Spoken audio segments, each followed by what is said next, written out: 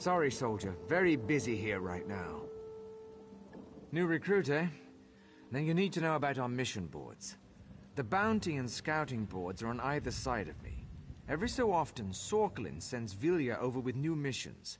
I post them to the boards for all to see. Bounty missions are simple. Kill enemy soldiers. If you kill enough of them, come back for a reward.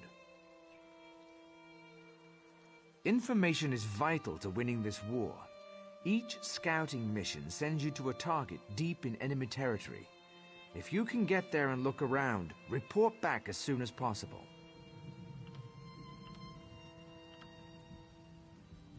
General Ataba supervises the other missions. Speak with her to learn about them.